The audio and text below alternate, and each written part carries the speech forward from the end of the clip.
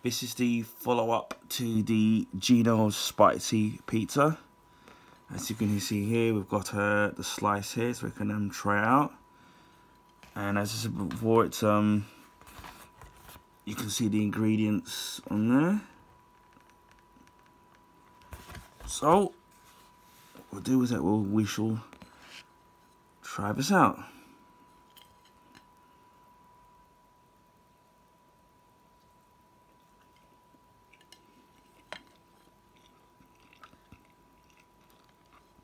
Well,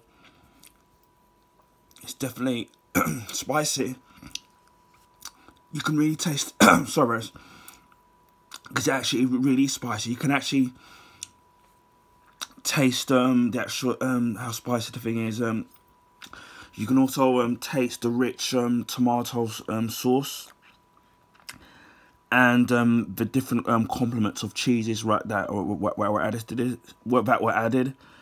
Um, so it was also um, you can definitely tell the the charcoal um, red and yellow peppers that give it that distinctive taste to the actual pizza, and um, the chili flakes, which, are, which, which is I think which is giving it that spice. And you also got um, the, the the pork, the the pork pork salami, or salami, should I say? Remember my taste.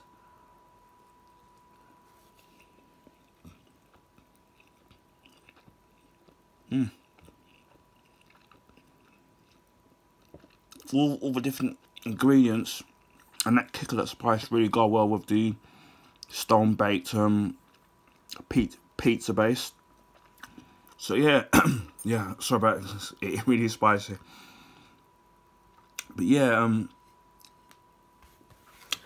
this is an um, actually if you really like um stone based pizzas and you really like meaty, um, spicy pizzas, then this will be just up your alley. For me, um, I definitely think it's worth it, and I'm looking forward to um, trying out the different pizzas. Um, in his um, trying out the different range ranges of pizzas right there that um that Gino has. But yeah, um, I really do like this one. All I would say is make sure you've got um a drink, whether it's water or, or, or anything else while you're eating this. But yeah it definitely is really, really flavoursome and really nice and I definitely would eat it again. So anyway, um, I hope um, this video was informative. Anyway, feel free to share, like, I'm sorry, still, still spicy, and to subscribe to my channel if you already haven't.